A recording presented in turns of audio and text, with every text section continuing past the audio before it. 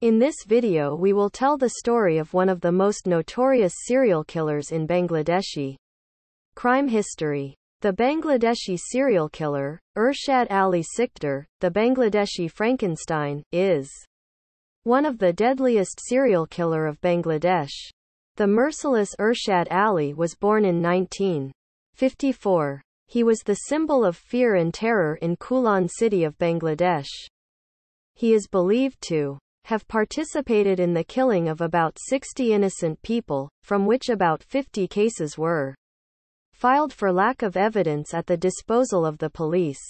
He was the worst serial killer in the country's crime history. The Bangladeshi serial killer was also well connected with the country's politicians. Ershad Ali Sikder was born in a poor working-class family. As per the Bangladeshi court records, he accumulated wealth first, by using his power and force. Later on he used his wealth to set up connections with the well-known politicians, to use the political influence. For this he joined a political party of military ruler, and successfully become the member of the Khulna City Corporate Council in the late 1980. Ershad Ali Sikder had control over the people of southwestern band of Bangladesh, especially the people of Khulna.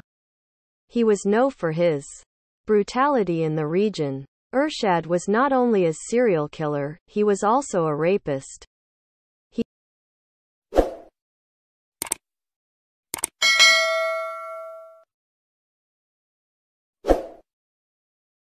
He had married six women, and also raped dozens of women. During his criminal career, he used his political connections to terrorize the people. When the government of military ruler party end, and the Nationalist Party of Bangladesh, become the ruling party, Ershad Ali Sikder, immediately joined the ruling party in 1990. Ershad Ali Sikder, switched the party again, and joined the next ruling party, the Awami League, when it came to power a few years later. He was the hot favorite of the major political elite, because he maintained a considerable private force, equipped with illegal weapons. His bad days started when he killed one of the political leader of Awami League. His political mentors refused to cover him in this murder case. He killed the political leader, Khalid Hossain, after five years in the party. He killed Khalid Hossain mercilessly in 1999, over a dispute of bidding, in the Department of Roads and Highways of Khulna. His Personal bodyguards explained the details of his murders in the court. The bodyguards told the court that he was killing, ruthlessly, anybody, anywhere, who come against his interest. The merciless Ershad Ali used to cut into pieces almost all the victims' bodies, and dumped on the Bhairab River with weights attached to them.